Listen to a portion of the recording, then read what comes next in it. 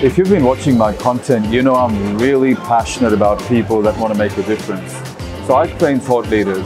Why? Because I believe that thought leadership is the best form of entrepreneurship. After all, it's only thought leaders that try and change the world through their ideas and their messages.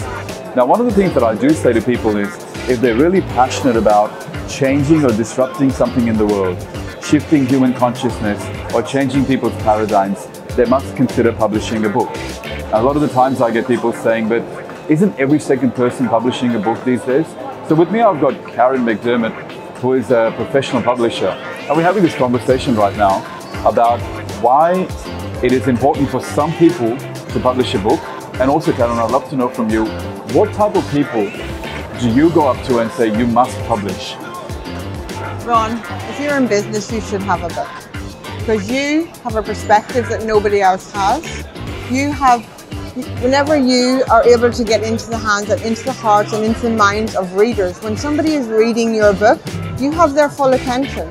You need to write a book if you're in business. Every business owner should. But but is it is there a risk of using a book as a tactic? Because a lot of the times I find that there are some people saying write a book because it's a business card. But what happens to the quality of what you're writing? Because I would hate to buy a book and then read that book and find that the author's wasted my time because their intent was just to create a business card. I understand and I appreciate what you're saying.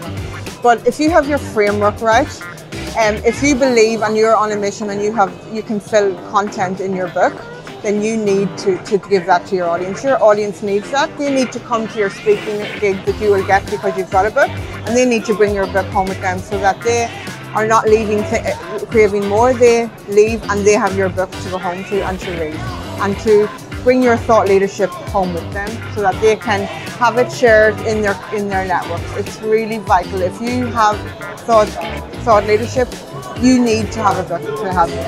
Uh, I'm really glad you said that because a lot of the times people say, but there's already been thousands of books written on leadership, for example. And my response is, but you haven't written it. If you've got a different perspective, then you must take the time to put that on paper and share it with the world. Karen, thank you for your time today. You're very welcome, man.